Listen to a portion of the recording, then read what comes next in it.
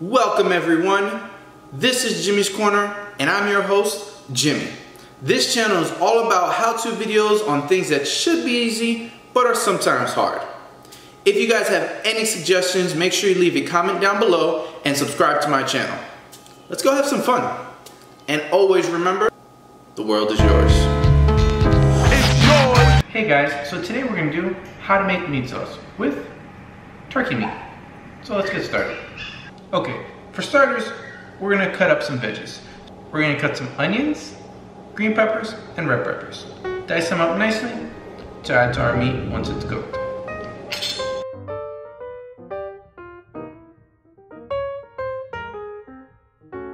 You wanna make sure everything is diced nicely.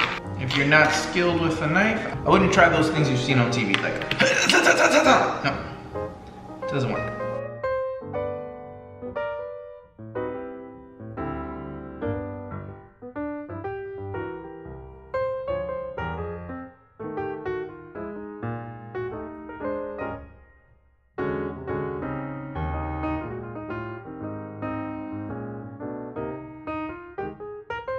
Okay, now that our veggies are all diced up, we're gonna go ahead and start cooking the meat and then drop them in.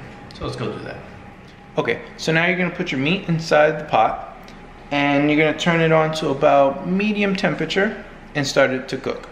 So we're gonna wait for our turkey meat to get a little brown, a little color to it before we put our seasoning in and our veggies. So we'll be back. You're gonna make sure to keep an eye on the meat, making sure you turn it so it doesn't burn. You can go ahead and raise the temperature slightly if you feel it's not cooking to where you would like it. So now that it's cooked and it's got some nice color to it, as you can see, we're gonna go ahead and add our spices and veggies. So we're gonna do a little adobo, a little bit of garlic powder. We're gonna go ahead and mash that around. So I'm gonna put half now to see how thick it'll get. And remember, it's gonna dry up as well, but you don't wanna overpower it with veggies. So I'm gonna leave it like that for now. We're gonna stir that up. And now we're gonna add our sauce to it. Usually any type of ragu, uh, this is a tomato and basil sauce, will do depending on your preference. Always make sure you have enough sauce. Okay, so we're gonna lower the flame on that, cover it, and we'll be back in about 10 minutes to see how we're doing. You wanna make sure you're stirring occasionally, just so it's not drying up or burning at any point during the cooking process, so always check on it. Okay, looks like we're doing pretty good. Just want the veggies to cook a little more. We're just about done.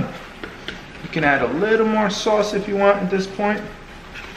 Other than that, we are good to go. And for a finishing touch, I like to add a little pepper. And ladies and gentlemen, there you have it. How to cook meat sauce with turkey meat. Hope you guys liked that video. If you did, give it a big thumbs up. Be sure to subscribe. And I'll see you next time here at Jymmy's Corner. Peace.